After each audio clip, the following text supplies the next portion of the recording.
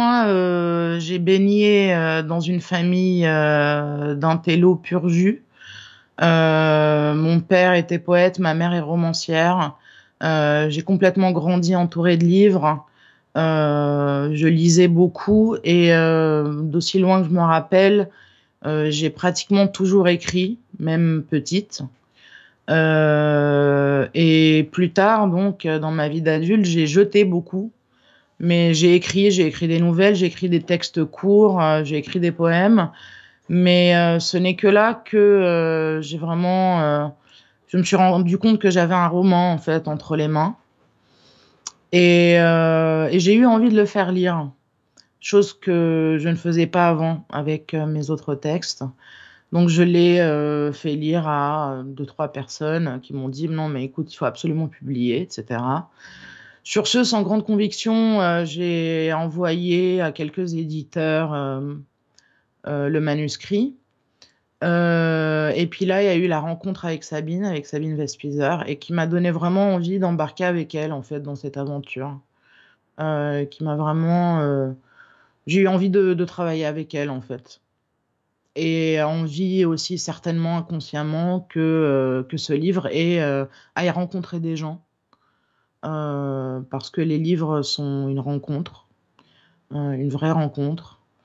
Euh, et j'ai eu envie de lui lâcher un peu la main ce bouquin et qu'il aille, qu'il aille vivre sa propre vie et, rencontrer, et rencontrer ses lecteurs. Et était bilingue à partir de l'âge de 3 ans. Donc, euh, en réalité, euh, à partir de la maternelle, j'étais déjà dans une école où j'apprenais les deux langues simultanément. Alors, évidemment, euh, l'arabe reste ma langue maternelle, mais une fois arrivée en France, à l'âge de 12 ans, c'est une langue que j'ai de moins en moins pratiquée, même si j'ai travaillé dans des traductions. C'est pas une langue que j'ai complètement perdue, mais c'est une langue que j'ai un peu perdue au même rythme que je perdais mon père.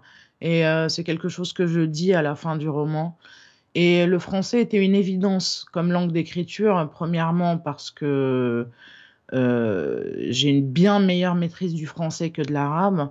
Euh, je pense que j'aurais écrit un livre en arabe, ça aurait été une pure catastrophe.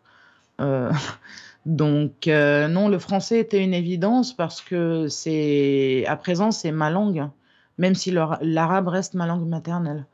Mais oui, il y a quelque chose de très euh, qui reste, euh, qui interpelle quand même et qui m'interpelle moi aussi, qui n'interpelle pas que mes lecteurs ou vous-même, euh, de se dire qu'on écrit finalement dans, dans la langue qu'on a apprise et pas dans la langue qu'on a parlé au premier au premier balbutiement de la langue, la, la, langue maternelle, quoi.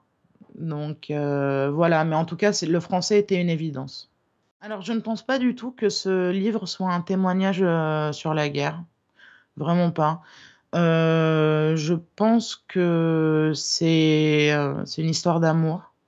c'est l'histoire d'une longue perte, d'une perte qui se poursuit à l'infini, avec ce père qui au premier roman est vu comme au, premier chapitre, pardon, est vu comme un géant. elle a, elle a une elle a une admiration sans limite, un amour sans limite pour son père.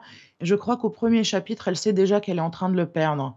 C'est-à-dire que cet intellectuel qui est une mauvaise herbe, pour en revenir au titre du roman, qui est une, personne libre, qui aurait été un anarchiste ou un pur libertaire dans un autre contexte, est en fait euh, complètement en souffrance dans ce contexte de guerre confessionnelle où il n'a pas du tout ni sa place et où il ne partage aucune des, euh, euh, des idées et des, et des, des, appartenances qui sont presque exigées dans un contexte pareil. Donc, je ne pense pas que ce soit du tout un livre sur la guerre, encore moins un témoignage sur la guerre, parce qu'elle en parle très très peu. Euh, d'ailleurs, dans le premier chapitre, par exemple, elle est très contente que les bombes se mettent à tomber parce qu'elle va retrouver son père finalement. Euh, je crois que c'est une histoire d'amour et euh, que c'est une histoire d'un, long silence, d'une impossibilité à, communiquer, d'un silence vraiment assourdissant entre les deux, qui ont un amour complètement extraordinaires l'un pour l'autre, mais qui n'arrivent pas à se parler et qui se sentent et l'un et l'autre complètement étrangers au monde qui les entoure.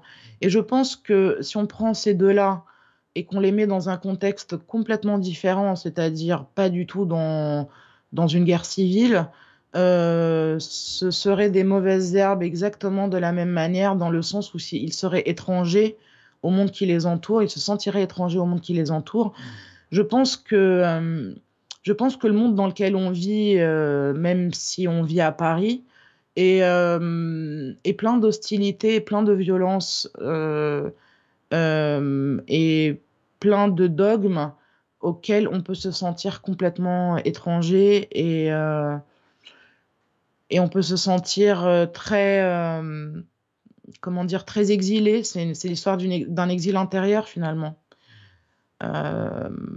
Donc voilà, je ne pense pas que ce soit un livre sur la guerre, mais euh, la guerre est le terreau fertile, c'est-à-dire c'est le contexte, c'est le pire des contextes pour euh, ces deux personnages qui, euh, qui sont complètement, oui, voilà, complètement étrangers à ce qui les entoure, qui sont extrasensibles, qui, qui ont une poésie dans leur manière de voir les choses, d'où les mauvaises herbes et ce fil botanique en fait cette botanique qu'on retrouve tout au long du roman, euh, qui est leur sujet de discussion pour dire la poésie qu'ils partagent, mais aussi pour éviter de parler du reste, vu qu'ils n'arrivent pas à se parler. On m'a posé souvent cette question déjà de la difficulté à avoir écrit ce livre, parce qu'il y a beaucoup de violence dedans, il est assez émouvant quand même. Euh, ce livre a été extrêmement facile à écrire. Euh, l'écriture en elle-même a été très fluide, a été quelque chose de très spontané. Euh, je n'ai pas pensé, c'est pas un livre que j'ai écrit dans l'optique de le publier.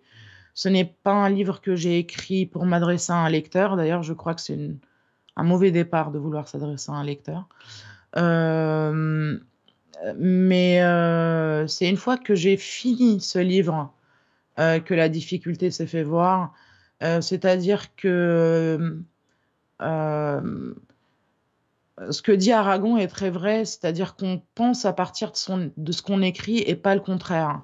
Et ce livre m'a donné beaucoup à penser, c'est-à-dire qu'une fois que je l'avais achevé et qu'il a été imprimé et que c'était quelque chose que j'avais mis noir sur blanc, c'est là que j'ai réalisé toute la violence et toute l'émotion et toute, euh, toute la noirceur que j'y ai mis.